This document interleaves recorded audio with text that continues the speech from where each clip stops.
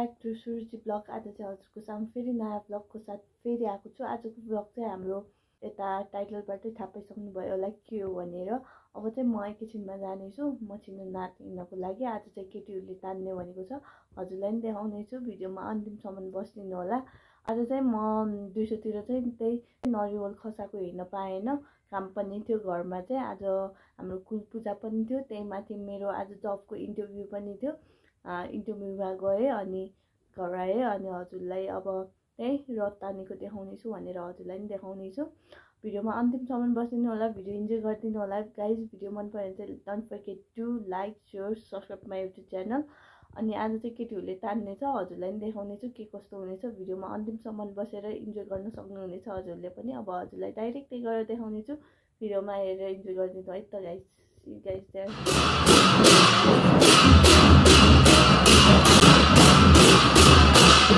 Oh!